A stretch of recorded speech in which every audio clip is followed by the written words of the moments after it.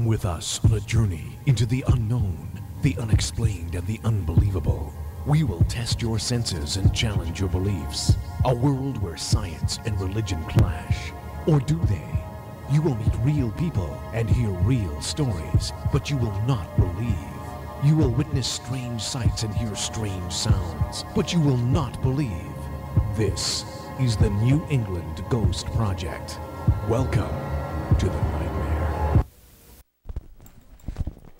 Good evening, everyone, and welcome to another edition of Ghost Chronicles Next Generation. I am Ron Kolek, your host. And with me, all the way from the chair next door, is the blonde bombshell herself, Anne Kerrigan. And good evening, everybody. Welcome back. Why, where were they? I don't know. Okay, you're walking them back. All right, welcome back to us. You know, I swear there's a full moon today. I mean, not the one behind us either. and by the way, see the full moon with the cross behind us? Well, that is actually a photograph taken by uh, Nick Mantello. So I want to give him credit for that. And I, I asked him if we could use that for uh, Spirit Quest, Angels and Demons this year. And he Mm-hmm. Said, absolutely. So it's on all our uh, literature and everything. That is so Very cool. cool. Yep. Very cool pick. So, anyways, Angels and Demons uh, for the, in Spirit Quest. For those who don't know about Spirit Quest, Spirit Quest is a um, I, I don't know what to call it. I hate calling it a conference because I think it's so much more than that. It's an experience. It's an experience. Uh, and we've been doing it for several years now. Uh, last year was ghost hunting and witchcraft, Witchcraft. right? The year before that was Yep. ghost hunting and spirit, spiritual spiritualism. Mm-hmm. So this year is uh, angels and demons, yes. Can't torn wait. from the pages of Dan Brown's book, and that was a good book. Yeah, you Very, read that, both right? those. Yeah, I in the first one with the Da Vinci Code. Da Vinci Code and then Angels and Demons. Uh, Angels and I actually watched Angels and Demons last night, Mm-hmm.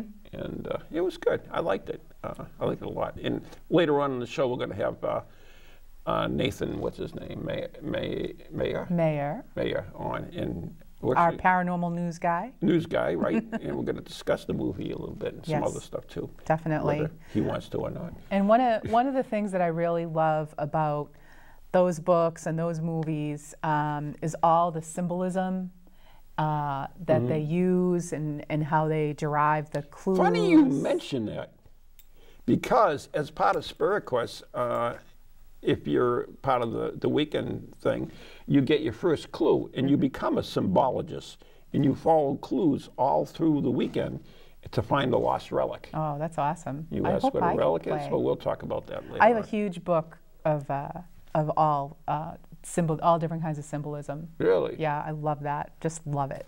Oh, my- cool. One of So my it's going to be part favorite of things. uh, Spirit Quest this Excellent. year. So Can't cool. wait. And once again, the uh, the title is Angels and Demons. Yes. and we're going to discuss uh, a lot there. We're going to talk a little bit about it, but I'm going to have to turn to my angel. that was okay. okay, so I was going to turn to my angel, the blonde bombshell. That's what I should have done. And Okay. she's going to discuss angels. wow, Well, that wasn't what I was expecting. I'm sorry. It just came out. It just happened. did. I'm sorry. So we've talked so many times about angels and demons, I think, on this show, and uh, it plays into uh, a little bit of everything. I mean, in the paranormal, I, you just can't avoid it. And so one of the things that I particularly enjoy, uh, and we all know that I'm into the cemeteries, and I really love finding not. angels. In cemeteries. Well, not in Yet, like anyways. six- Eventually, not maybe. six feet under, but I enjoy my cemetery time.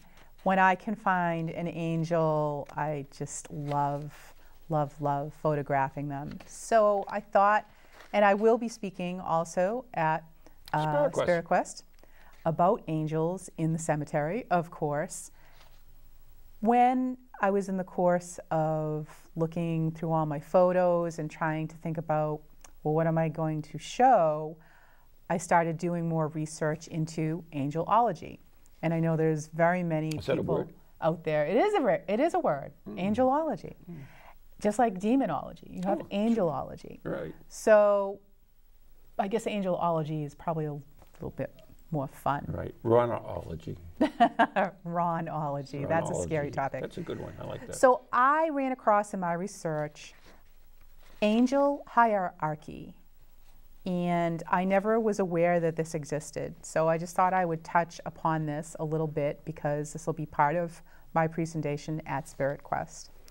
So the whole angel hierarchy came about in the uh, fourth or fifth century because people were basically worshiping angels instead of God, and Because they liked angels. Uh, church were they we have our own angels, speaking about We angels. do. we do. Yes, we But, do. uh, yeah.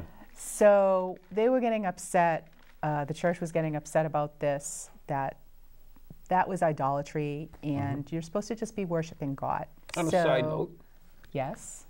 do you know that's the difference? One of the differences between Orthodox religions and like Catholic religion, because Mm-hmm. we have uh, statues, Right. and they believe that that's uh, worshiping false gods because it's idolization or whatever you call it.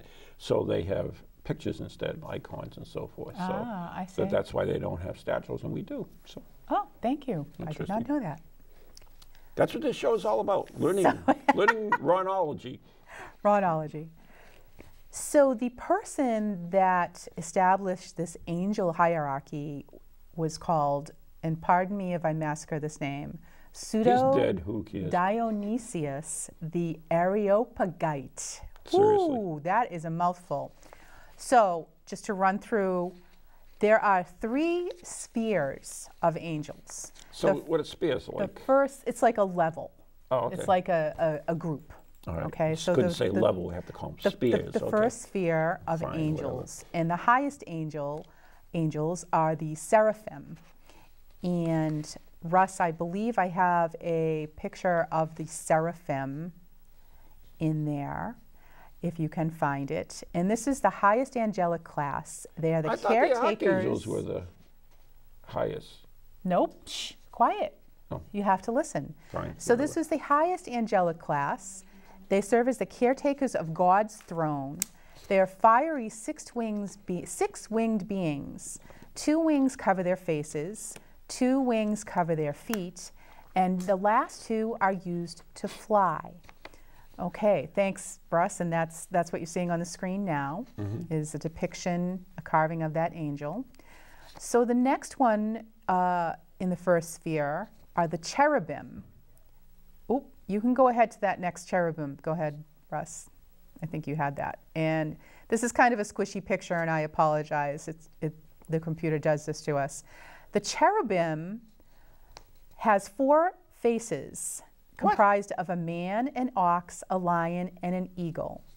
Four co-joined wings covered with eyes, a lion's body figure, and ox's feet. They guard the way to the tree of life in the Garden of Eden and the throne of God. They are often confused with putty or putti, I'm not sure how I say that, which are the baby like angels. Oh, When you think of cherubs, uh, that's what you think of.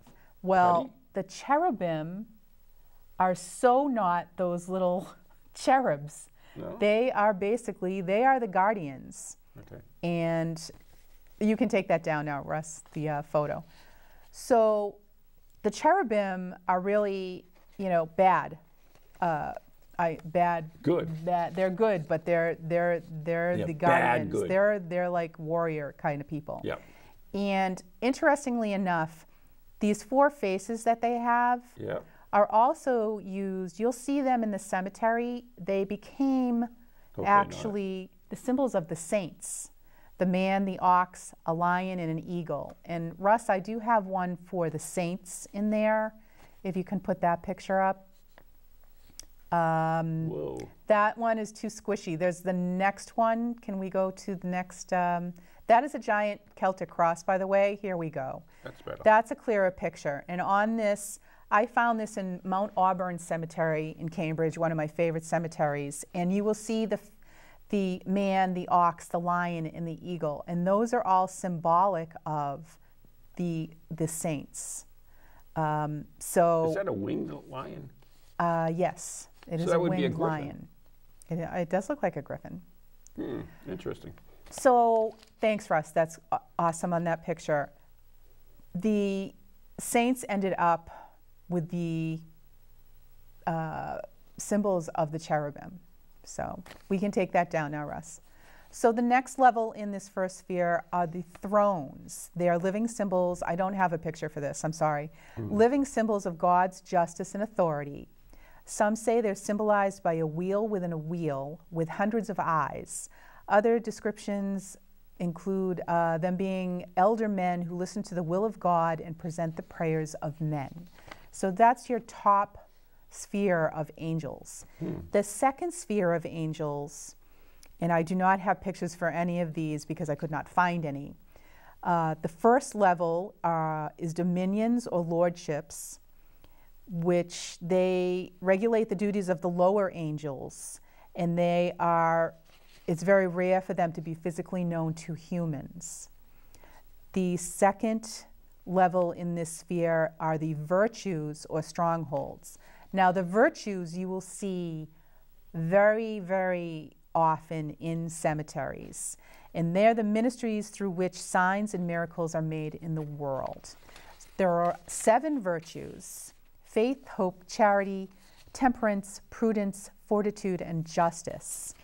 And Ron said to me earlier, Well, I never knew that these were actual, these were angels. I always Right. thought these were Just uh, virtues. like virtues, Right. things, Traits. your your traits or your morals, but they're actually a tier of angels. So let's start with faith. And Russ, if you could put up the picture I have of faith, it starts with virtue, faith.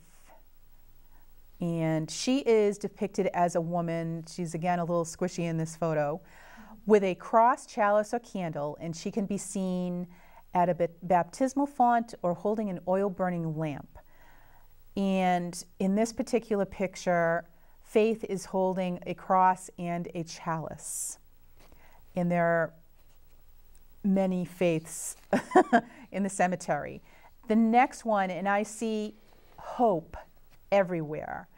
If you see an angel in the cemetery, nine times out of ten, it's going to be hope. If we can find one for hope, Russ, uh, she is seen as an angel with wings, but she's also seen with an anchor. And that is her symbol of hope. I tend not to see hope with wings in the cemetery, but I always see her with an anchor. And Russ, I think I have a couple of different hopes if you want to put So another what's the one up. symbolism of the anchor? Anchor is the symbol of hope.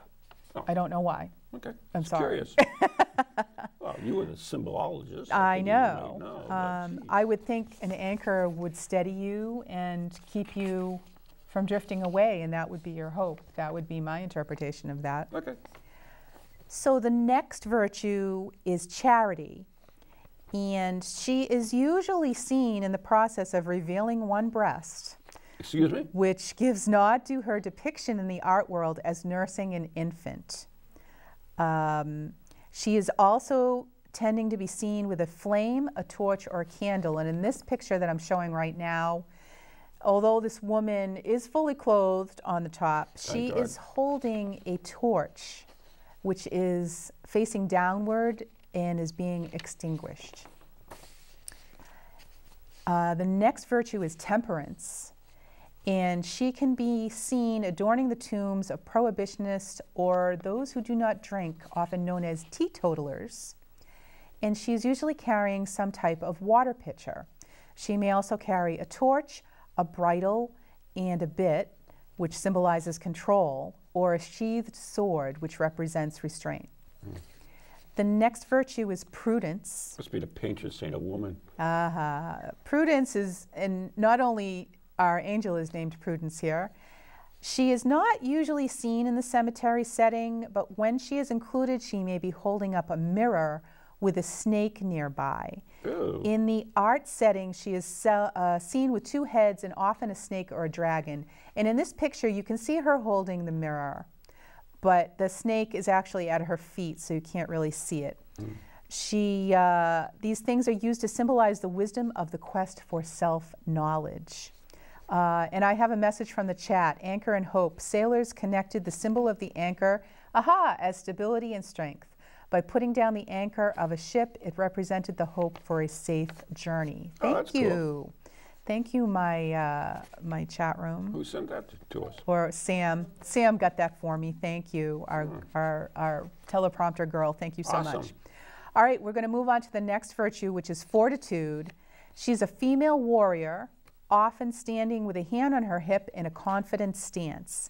She may carry a large stick, club, or sword at her side and can also be seen with a column at her side. And there's fortitude on the screen now. And there's another one. Why one. are they all women? Um, must have something to do with their strength, Yeah, right. I would imagine. yeah, Russ, can you put up the other fortitude? that's what I was thinking. Thank you. This is a very famous angel. She's in Lakeview Cemetery in uh, Cleveland. And she is made by Haserot, that was the sculptor. This is one of my all time favorite sculptures. And as you can see, she has that sword. And the last virtue is justice. She's one of the easier virtues to identify as she's always shown holding scales. However, you will seldom see her in a cemetery. In this particular justice, I took this photograph at the Forefathers Monument in Plymouth, Mass. If you ever get a chance to go see this, uh, this is one of many, many carvings on that monument. It's fabulous. It's kind of, it's big like the Statue of Liberty. Not quite that high, but was made by the same sculptor. Awesome. Okay, so just to wrap up my angels, uh, thanks, Russ. You can take that down. So the third level of the second sphere are powers or authorities, and they are warrior angels that oppose evil spirits. Uh, it's theorized that Satan was the chief of the powers before he fell, and their duty is to oversee the distribution of power among humankind. The third and final sphere are the principalities or rulers. They're angels that guard and protect nations or groups of people or the church. Then the archangels. That The archangels are down. down at the bottom, believe it or not. They're messengers, as all angels are messengers, but they are also protectors. And we all know Archangel Michael uh, was the one who took Satan down, thrown out of, out of uh, heaven. Mm-hmm. And that's a picture of Michael with Satan defeating Satan up on the screen there now. Mm-hmm. So, and then we are now down at the almost the bottom angels, just plain old angels. They are sent as messengers to humanity. And the very bottom of the third sphere, which is what is closest to us, are personal guardian angels. And they're supposedly assigned to every human being. So all of us have our own little guardian angel. So that is my little presentation on angels. I will go much more in depth at Spirit Quest. I'm not a late. All right, so I'm going to roll this back over to Ron. We are? We actually have a question. Oh, we have a question. Have Ron and Anne ever felt energy that could be felt as angelic during any of their investigations or Well, visits? working with you, I've always felt ah. angelic energy. Yeah. Aww. That's what I was thinking. I, I honestly have not. Have you? Um, as far as an angelic? the question is, what does angelic energy feel like? Mm-hmm. That's hard to tell. Do you think you have protectors? Do you think that you are protected? I think so. And so we have that feeling. Are we talking that that is an angel, if you want to call it? Yeah. So I, I, I feel that way. I mean, how many times have things happened to you and you say, oh, the angels were looking after you? Oh, absolutely. Right? I know my husband has a guardian angel. Yeah. Ooh, yes. Oh, if he he, didn't, I don't think he'd still be upright. Let's just put it that way. So that was interesting. We're going to do a show on angels sometime, just angels. Oh, and- I would love the, that. The whole thing. That'd be kind of cool. That would be awesome. But uh, yeah, that's that's interesting. I forget where we're going now. Well, we were going to move on from angels, uh, Mm-hmm. staying kind of in that saintly realm, talking about relics oh, really? Relics? from the church. okay. And I know you had Right. mentioned. You know, we, we, we talking, once again, Spirit Quest is all about the paranormal, but it's also, this year, is the relationship with religion. And one of the things that I love doing, absolutely love, is psychometry. And that is basically holding an object and being able to read the energy or getting impressions from that object. And when I first heard about this, I thought it was, uh, you know, a bunch of baloney. Like, how can you get impressions from an object like a stone or a key or something? But then I started to think about, because I'm a good old Catholic boy, the relics, which are either pieces of the saints or, or possessions of the saints. So, anyways, we're going to learn a little bit about relics here from one of the shows that we did, right? Yes, yes, we had a show a few months back, which was very Which is one of Anne's favorite shows, by the memorable show to me. Yeah, if you saw it, you know why. But Mm-hmm. we digress. Can we play uh, the first clip, Russ, please, which is relics? It explains Yeah. Do you know what a relic is? I do not know what a relic is. Okay. What's a relic? So we're going to talk about, well, I'm going to talk about relics. Uh, we're going to talk about relics. Okay. Uh, so, Russ, if you'll get my list of top relics per, ready, uh, we will go to it, but don't start yet. Uh, so, anyways, uh, the word relic is derived from the Latin word meaning re- reliquis, meaning, guess what? Relinquish. Would you guess? What would you guess? Relinquish, Yeah. What do you think it would mean? um, to give something up. Uh, close enough. Well, that would be the definition. Uh, it means left behind. Left behind. Yeah. Okay. Yeah. So basically, yeah, you give it, but you leave it behind. Mm-hmm. So, anyways, the word is derived from reckless, which means left behind. Relics have always played an important part in religion, and not only Catholic religion, but many others. Mm-hmm. Uh, more than decaying body parts uh, in stained rag or cloths, uh, these items became the physical embodiment of God's work on earth. Oh. Uh, many churches uh, during the Middle Ages, okay, this is interesting, uh, cashed in on the hype and Oh. created their own religious relics. Oh, nice. Uh, at one time, there was more than seven heads of John the Ba- Baptist. Ew. Yeah. Oh. So I mean, th- there's, you know, there's, you know, if it was a way to make money, then, they, you know, back at that time, especially in the medieval. uh, Wow. and uh, so there were different classes of relics. okay. Okay, there are three classes. The first class relic is actually a pot of the saint. A part. Yeah, a pot. A pot. A Excuse pot. our New England accent. Like A part. bone, hair, Oh, blood, okay, a part, Which okay. I actually have a first class relic in, in the blood of uh, Saint Charbel, which we will talk about later. Uh, the second class relic is something that is owned by the saint or instrumental or an instruments of torture that was used against the martyr. Oh. Okay. So they have they have torture devices. Yeah, so yeah, Nice. these can become relics. and the- this is the interesting one, though. Okay, uh-huh. a third class relic. A third class class relic is consists of something that has touched a first or second class relic. Anyone can make their own third class relic by touching an object against a first and second Oh class relic. God. So if you got a third This is pretty complicated. so if you got a third class relic, it's like, yeah, whatever. Ah, You yeah. know what I mean? Well, there you go. I mean, that tells us a little bit about relics. But you can see, I mean, the, the interesting thing when we started doing this, and Anne, you were doing your research and I was doing my research, we realized the complications, not the, the complexity, complexity? Right. Complexity of uh, the Catholic religion as, as well as other religions, how deep it is and everything.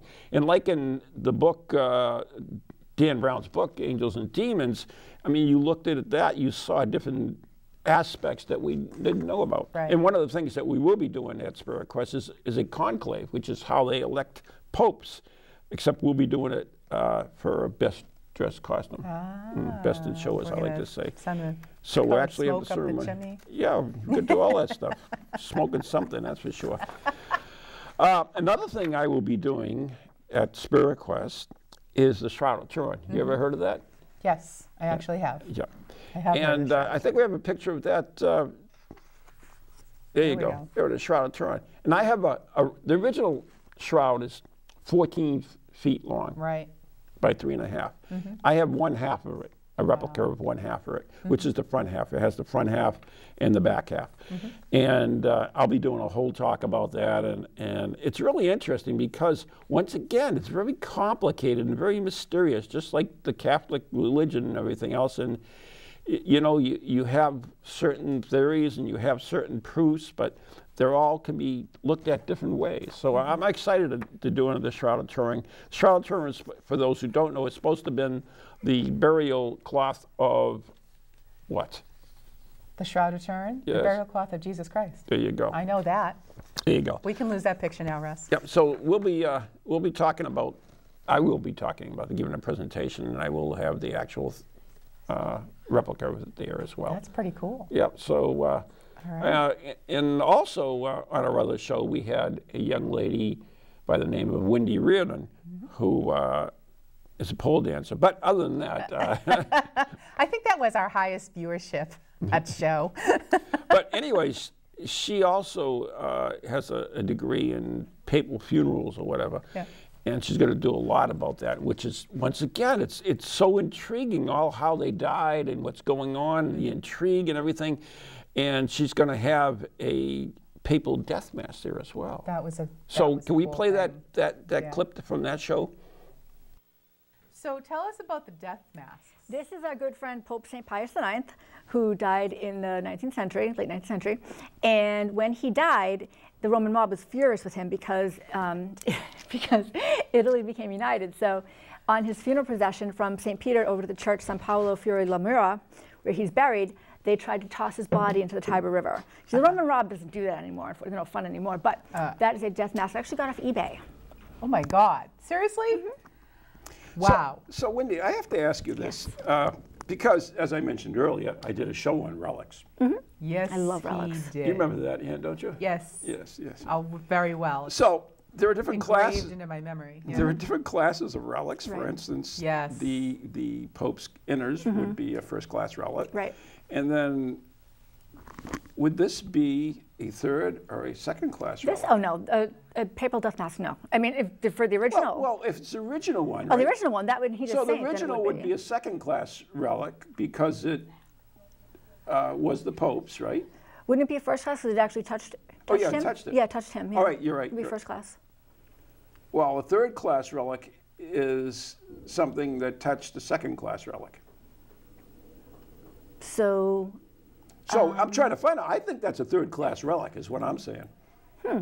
I didn't think of it that way. I guess. You know, if it's- the original, if that comes, if that really comes from the original death mask, then somewhere along the line that is a third class relic. I guess it would be. I never thought of it that way. Mm -hmm. Okay. Huh. All right. I don't know. Good. So why do we have death masks? That was common.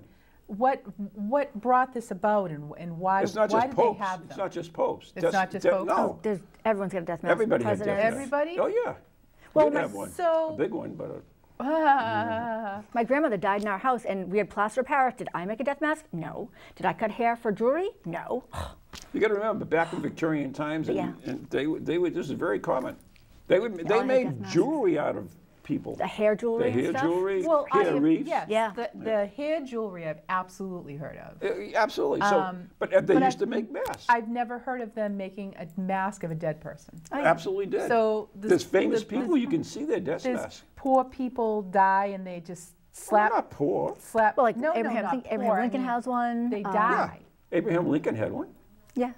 I never There's, knew that. there's like uh, websites and uh, museums of death masks. Yeah, I absolutely. Okay. So you see, even that's complicated with the relics, right? Oh yes, determining what class mm-hmm. they are. Right. And I found out why you guys laughed too, because someone from the chat room asked if I was a relic because I was 100 years old. So it, it's not how you become a relic, by the way. If you were listening to my thing, that's not a relic.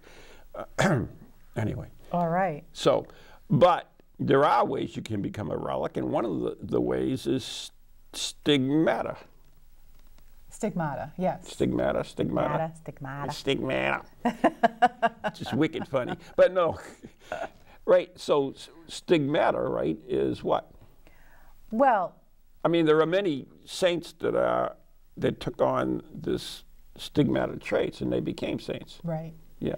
Now, well, I think the person who can best explain what a stigmatist is Sam? is Mother Angelica. Oh, okay. We have a clip of Mother Angelica explaining what a stigmatic is. And if we could roll that, please, that will give us a good explanation. I know some of you are just saying, what in the world are we talking about? Well, there are many people in the world. I've often thought that there are many people throughout the, throughout the centuries, uh, every century has had its stigmatists. Our first that we know of for sure was St. Francis of Assisi, and there have been many, you know, Teresa Neumann, and, and there have been uh, uh, Padre Pio, and even Catholic, great St. Catherine of Siena who had the stigma. And that means that they suffered the very wounds and the very pain that Jesus suffered. Not in the same way, because they're finite creatures. But the purpose of this is to make reparation for all the sins in the world and a constant reminder to us of the, the action of God upon the soul and to make reparation for all the sins, and many, many, many, many sins in the world. And so many of them suffer flagellation. I mean, they, on their body appears these terrible wounds of Jesus. Some had the crown of thorns. A woman I knew, Mrs. Wise, had that, and the stigmata. And, and they bleed every Friday on the anniversary of our Lord's uh, death and crucifixion. And I know it's a mystery. suffer from 5 in the morning till 12. The, she would suffer the passion. She was in pain, something in agony. And that started uh, that way. Then she went into uh, every week. It, uh, every Thursday night around midnight, she'd start, her wounds would start to open, and she would bleed and bleed. And uh, the, the, the, the, son, the, uh, Bill, the brother of Rose, the younger brother, uh, would uh, describes it, and he said his mother would uh, have to put big uh, towels because it would squirt on the, the blood would ooze on the walls and everywhere.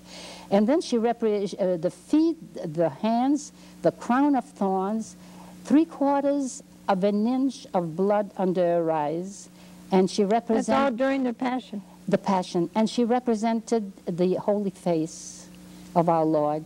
My, uh, Bill says, I was so surprised once to come in to see my sister and to see it was not my sister anymore, it was Jesus. Okay, so that was uh, a little bit about stigmata stuff, right? Yes. Right. Which and- is really kind of fascinating. It's uh, something really paranormal, I think. Right. I mean, if she stigmatics are paying for sins, I mean, God, you must have somebody working overtime. I huh? have, yeah, I guess Yeah. so. But uh, we had actually had a question uh, in the chat room about relics. So before we move on, Before we move on, uh, the question is Do we think that the belief of others creates the power of a relic? Or is it the relic itself containing a shard of religious power from a divine source? Well, that's an interesting question because um, I believe that's from Stephen Scott, and and it's a theory uh, of where it comes from. But when when Stephen sometimes picks up on energy, he picks up what he calls residual en- energy. He's not speaking to a live person, or a dead live person. Uh, but he's picking up on energy. So, yeah, the energy is imprinted in the object. So, a relic is that has that same energy. It comes from whoever that person is. If that person has to be, if that per- person happens to be in the divine realm, meaning, meaning they're close to a, a greater good or greater God or, or whatever, then that same energy could come through in a relic. And it could have possess powers of healing or whatever. So it, you know, I, I believe that's what I believe, anyways. And now I tell you that's absolutely the, the truth. No, I mean that's my own It's personal belief. opinion, your Yeah. opinion, which kind of is a bit of psychometry. Right. And we actually went to a grave of one of the stigma- stigmatas, right? Yes, we did. we went to Precious Blood Cemetery in Woonsocket, Rhode Island, and learned about America's only stigmatic, mm. Rose Marie Ferron. So we're going to roll that clip. Is the grave of America's only stigmatic. A quick definition is one who bears the wounds of Jesus Christ. Marie Rose Ferron, also known as the Petite Rose. Although we arrived late in the afternoon at the cemetery, I was able to shoot this quick video at her very humble grave. I'm here in Precious Blood Cemetery in Woonsocket, Rhode Island, and we're standing at the grave of Rose Ferron, also known as La Petite Rose. And Rose was the United States' only stigmatic. She is buried here in Precious Blood Cemetery, and uh, she died at age 34, very young. It was said that for the last 10 years of her life, she bore the wounds of Jesus from the crown of thorns, hands, and other marks. And when she died at 34, became very famous. Uh, they used to allow you to leave offerings at the grave, can no longer do that. She also has a large uh, tomb erected to her in Chicago. But for right now, this is her very humble and simple tomb here at Precious Blood. Well, that was pretty cool. Yes. So, anyways, uh, speaking about this, who is this? Rosemary Ferron. Yes, we actually have on the set now someone who we does our, normally does our news, but is now going to join us on the set, and he is uh, Nathan Mayer. So, can we have a three shot, please? Thank you very There much. he is. There you go. Yay. So welcome, while, Nate. while this was rolling, you actually had a story for us, right? About somebody. Yeah, my friend Amy, on her father's side, um, her lineage is connected to Rosemary Ferron. That's really? amazing. Wow. So Does she she's like glow in the dark or anything? No, but she did. I forget the name of the title, but in high school she received some. Uh, my friend Amy received some honorary title from our church. So Oh, really? I guess it runs in the blood. wow. Oh, that's, pretty kinda cool. Yeah. And uh, you also, world. yes. and uh, when we were talking about relics, you had a story as well. That's why we brought you on early because you you you're just a wealth of knowledge here, Mr. Nathan Mayer. Uh, you had just come back from Montreal or Yes. Quebec or someplace. Uh, earlier this month, Yep, um, I before went we to put the wall up, evidently, right? I went to uh, Quebec, Canada, and I went visited Saint Joseph Oratory in Montreal, where Saint Brother Andre is entombed, and elsewhere in this huge building, where the floor that tells his life story, they display his heart. It's like pickled in a jar. Oh, That's so cool, huh? Would you like to have a Wow. pickle heart sitting on pickled your heart. Yeah. I know people like, you know, pickled eggs, but I don't think No, I like I mean, pickled the- heart.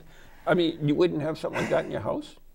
No, thank you. Really? She's not the witch from Bedknobs and No, I mean, Come people. on, I mean. Steve Steve Parson, who's coming over for Spirit Quest, uh, and going to be doing several talks, uh, including a closing exorcism on the uh, at the, the event, and uh, also talking about Battlefield Angels. So, uh, but he collects odd things as I do, and I have quite a few, you know, Yes, you do. Pieces in my collection as well. Well- but you know, in relics, we talked about you talked about the heart, but we had there were other parts of saints that they were Uh, we- preserved too. we're not going there. We're not going there. We're not going We're there. not going to go there. And if We're not going into the parts. Parts We're is not parts. going to go to we're parts. not doing that. But I have, I have, I also have uh, the blood of Saint Charbel, which is a first-class relic. Mm-hmm. And um, when I worked with Brian the monk, who's a Franciscan friar, actually, they call him Brian the monk. Bob Cahill did that. Mm-hmm. So. Um, he uh, he also did healing and exorcisms. I've gone on a couple of exorcisms with him, but what he did is the, the blood is actually like little grains of sand. Really? Yeah, because it's you you know there's no liquid in it, so it, it's it's little grains of sand, and he would take it and place it in holy water, and they would use that for healing. So, uh, cool. and, and when we wrote the book, um, Ghost Chronicles, Maureen and myself, and in the book it mentions several times that we bless things with holy water. Uh, so we actually, you know, people say, "Oh, that's crazy. Holy water is just water." You know, what if you're, a, you know, Muslim and it doesn't work or anything? So, anyways, we had Keith Johnson, who you know very well, right? No. Yeah, he, he's the leader of my paranormal group, New England Anomalies Research. Did you hear that, Keith? I'll make sure you hear that. That's right. Uh, so he's a demonologist, right? Yes. And so we had him on the show a while back. Way back, show number Believe it? 10. Can you believe that? I, This can't, is- I thought it was no. just recently. No. But show anyways, number 10. This is show number 32. so he talks a little bit about holy water, Yes, let's roll that. on holy water.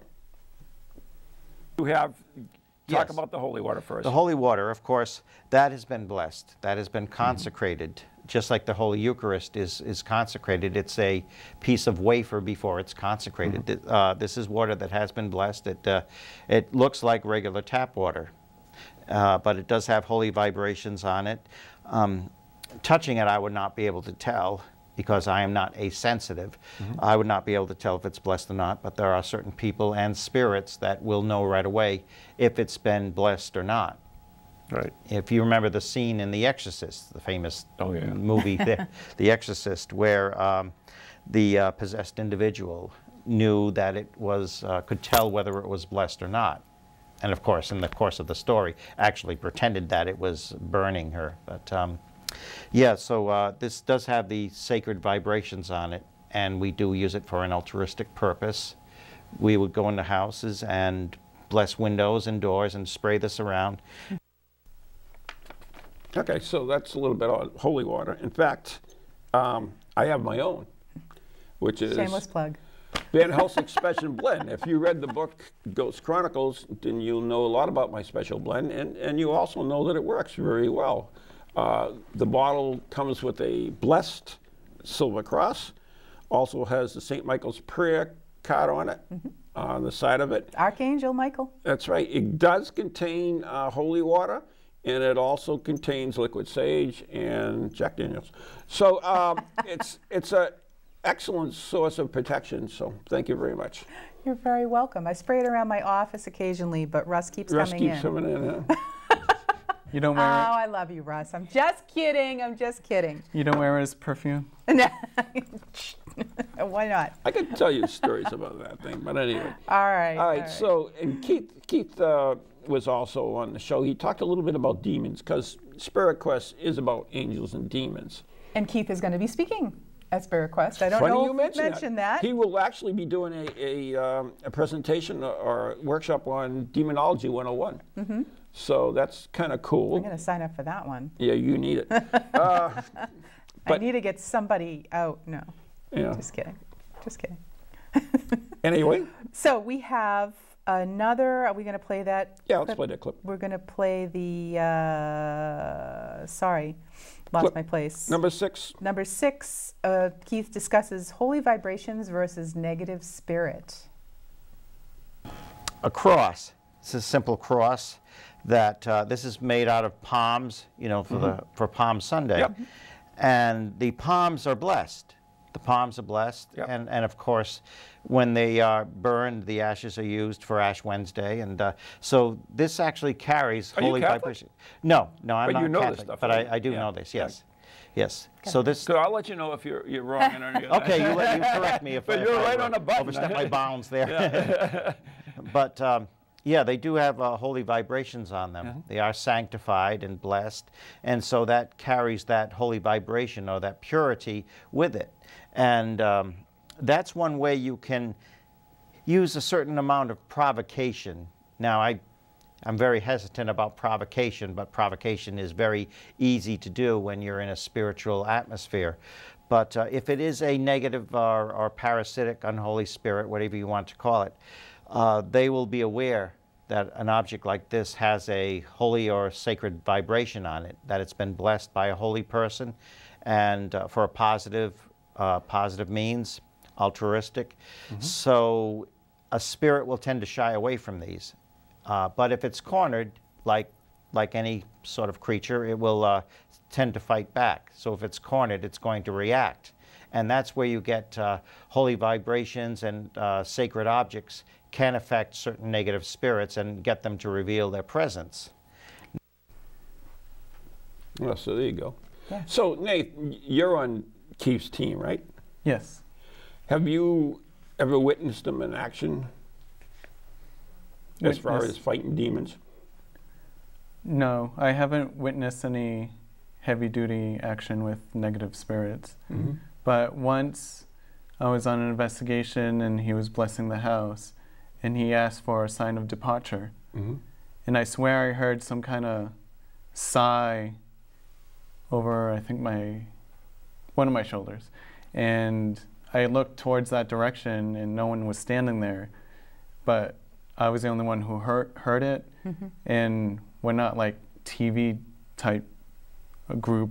So the clients were there, and one of the homeowners looked at me, look in the direction that I heard the noise from. So hmm. that's my only Wow. story about, Well, that's a personal experience for you. yeah. And, you know, the Catholic Church is really big with dem- demonology and so forth, Mm-hmm. but other religions as, as well. In fact, uh, I think you have a story about Martin Luther King. Not the king. Not the, The king has left the building. no. Um, Martin Luther was a German monk and theologian widely identified with the Protestant Reformation. And when he was at He tacked that damn thing on the door. when he was at Wartburg Castle under the name of Knight George, Luther translated the New Testament from ancient Greek into German in just 10 weeks. This uh, translation of the Bible was not the first into German, but it became the most well known and widely circulated. And while he was doing this, um, during the beginning of the translation into German, the devil saw this and was furious and wanted to disturb the sacred work. His demons gave, uh, gave him no rest day or night. At last, Luther grabbed his inkwell and threw it at the evil, evil one's head. Still today, um, they show the room and the chair where Luther was sitting, and the mark is still seen on the wall. God's word translated into German gave the devil a fatal wo- wound. Then Luther, looking out of the window over the forest, the cloud of smoke from the mines puffed up away, and that symbolized all the doubts Luther had in doing his work. Later in life, Luther said, whenever he felt the presence of the devil, he would break wind in his face. Meaning there is no equal matching to the power of God to the devil, who is always in control, God who's always in control. Faith always wins out, and the devil can't stand a word of Christ, and his power fails. Wow. That's pretty cool. And that's from way back, way back, you know, When they had inkwells, when they had ink wells. Maybe there was some holy water in that ink. a Van Helsing special blend. Sprayed it. They might have used that back then.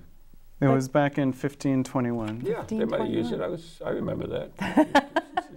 Ron remembers it well. Yeah, it was pretty good. Remembers it But uh, yeah, that's. I mean, all this stuff. You have so many talks and and I mean, so many stories about the devil. I mean, there's a lot of stories. Uh, last year, uh, Steve Parsons came over from the UK. Yes, he is this year for Spirit Quest. Yes. And one of the talks he gave was the devil played cards, and it's all about the, how the devil comes into a uh, tavern or anything and plays cards with him, and then he's finally found out, and, and he just goes away. But uh, yeah, he shows up in a lot. I mean, Daniel Webster and the devil, that's a famous story.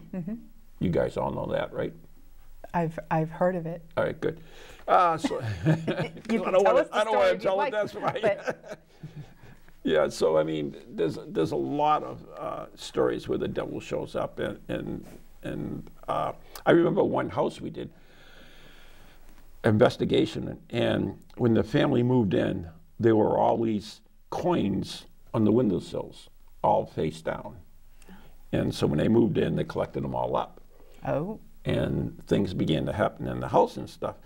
So I had never heard of this before, so I, I started doing some research on it. And there is one belief that if you took a coin and you put it face down on the windowsill, right, mm-hmm.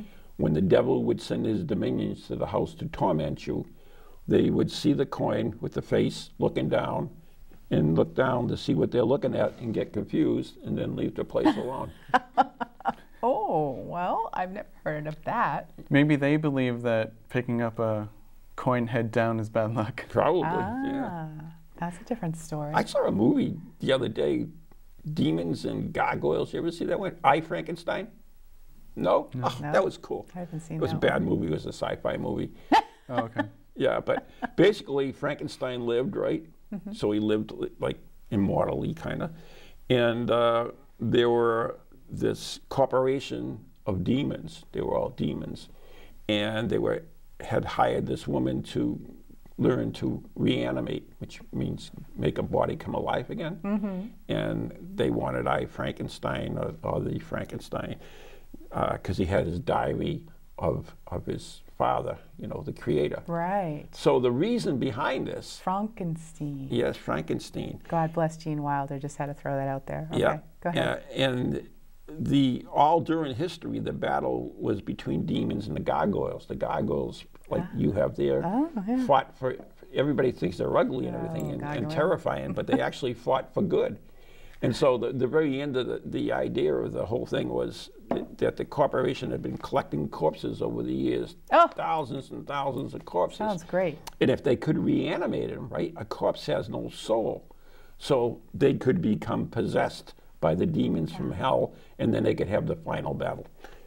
I don't know why I brought that up. That was I kind of have stupid movie. No Yeah. idea. No but speaking of movies, have you, Nathan? Have you seen uh, Angels and Demons? I recently watched it, yes. Like today? Yes, this afternoon. Did you like it? Seriously? I enjoyed it. Yeah. It's an enjoyable movie. It, it's worth a whirl. Oh, what do you what do you think of the theory behind it, where the Illuminati and all that? Um, Do you believe in the, the Illuminati? I haven't looked much into them, Yeah. so I, I don't know. Do you know where the Illuminati comes from? I think that we should definitely tell people because Yeah. I'm sure there's a lot of people out there that don't know. Well, it's, it's a you know it's it's one of these. That's the cool thing about this religion is there's so many mysteries and and twists and turns. Illuminati is supposed to be scientists. Okay, the church church persecuted them uh, because they would you know they would say like the sun was not the center of the universe and not God and blah blah blah and all these other things, and so they were persecuted. And uh, in fact, Galileo and um, who's that one? Leonardo da Vinci, Da is- Vinci. is supposed to be member of this. So they went underground, and uh, that's what uh, that's all about. They were secret society. Uh, they were forced underground by the church. Uh, they believed in science, not religion, but they didn't realize that there was actually a relationship between science and religion. In fact, the Catholic Church today embraces a lot of theories that were thought as heretic, like uh, evolution. Evolution. All right. And uh, life on other planets is, is no longer Im- impossible to the Catholic Church. So, wow, I mean, making great strides. well, that's the thing. I mean, you, you get. I mean, everybody's oh, well, it's about time. But that's the good thing is they just don't jump to conclusions. So at least they are making changes, and, and I understand uh, there are other aspects of, of life and reality. So, but it does take time, and and that's the one interesting thing out. But anyways, Angels and Demons. This weekend, not this weekend, September. When is it? 20. First to the 23rd. Sounds good. 20, 23rd through the 25th? yes, September. Uh, it'll be up in Groveland, Massachusetts, uh, as, as it starts off with uh, Dining with the Dead, the Conclave. Uh, you, it's dress up, so you can dress up in, in best costume will win. Uh, and we actually elect that via uh, the conclave, the actual ceremony they use to elect the popes, and you get your first clue to find the lost relic. So that starts off. Then all day long is Saturday, lectures, workshops, uh, Charlotte Turin, uh, readers, uh, vendors. Be a lot of fun. And then uh, Saturday night is the Da Vinci Code uh, ghost hunt. Awesome. So it, you would base, base it on the uh, uh, Da Vinci Code book, loosely. and it ends up in the chapel, which is a real chapel that we are activating. We're, we're putting an altar together and with religious items and everything. And we're going to have a red light seance to contact the nuns who occupied Veasey Estate. and the chapel originally. So it's going to be exciting. cool. So that's all that. So uh, Nathan, you have anything else to add to, with us? Not to my knowledge. no. Any Yeah. other No. dem- demonology uh, incidents? Uh, No. Keith? No, nothing on Keith. No, nothing. Alright, like it. so- He's a good guy. We did have an interesting uh, discussion. We, we don't have time today um, on the show that Keith was on. And he discussed the Perron investigation, which was the basis for the movie The Conjuring. Right, The Conjuring. right. And he told us about how he and his brother Carl, and at the time they were teenagers, uh, went to the house where the family was having all these issues. And so they were kind of first on the scene Right. and described basically the family being terrorized by what they perceived as a demon. And although they could do a temporary fix on getting the demon out, it wasn't a permanent fix. And then later kind of handed it off to Ed and Lorraine Warren, also uh, known demonologists, and paranormal investigators as well.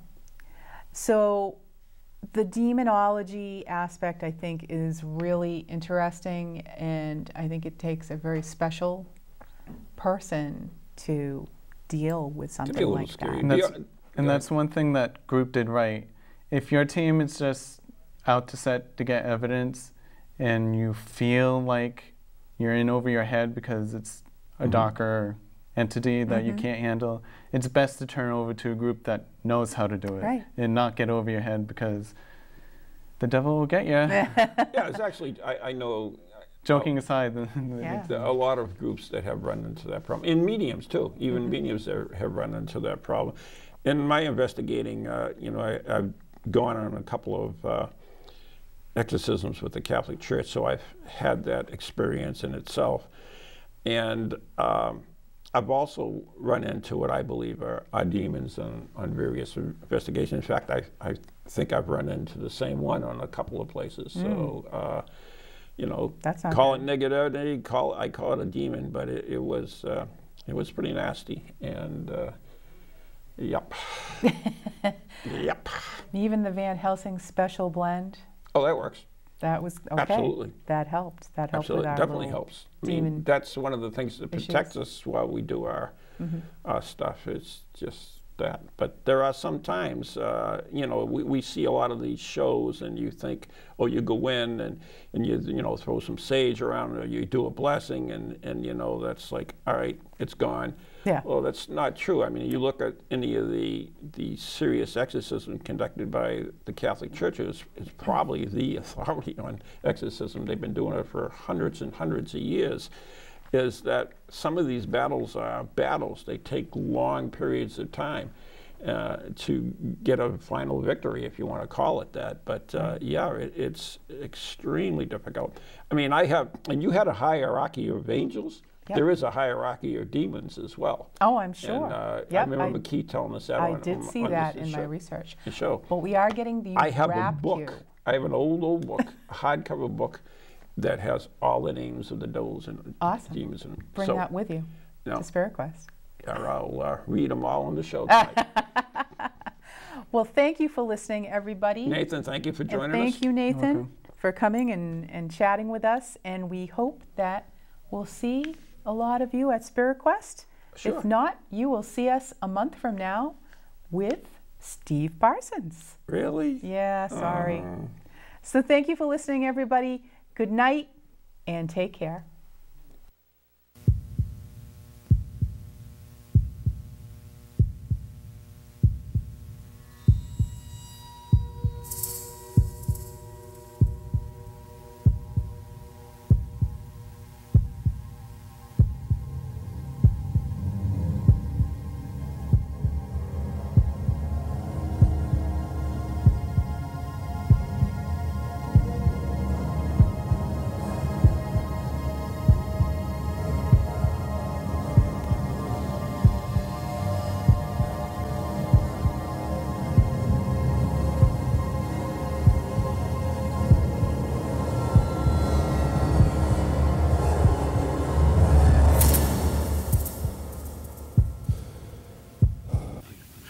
Goalies to ghosties, long leggedy beasties, and things that go bump in the night.